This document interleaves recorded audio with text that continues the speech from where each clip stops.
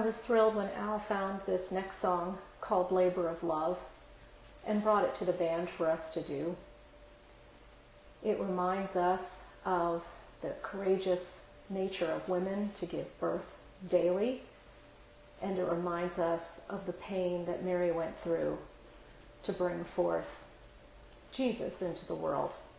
I'm honored to sing it for you now.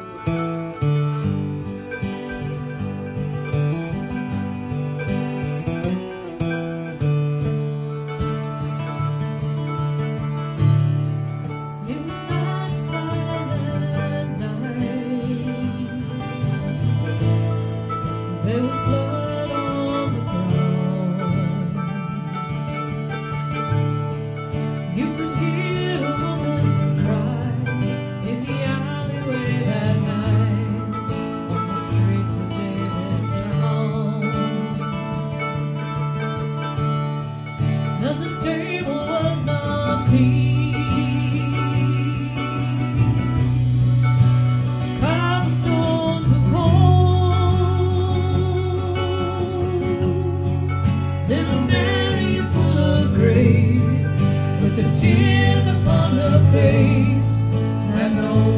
the ground in the dark, every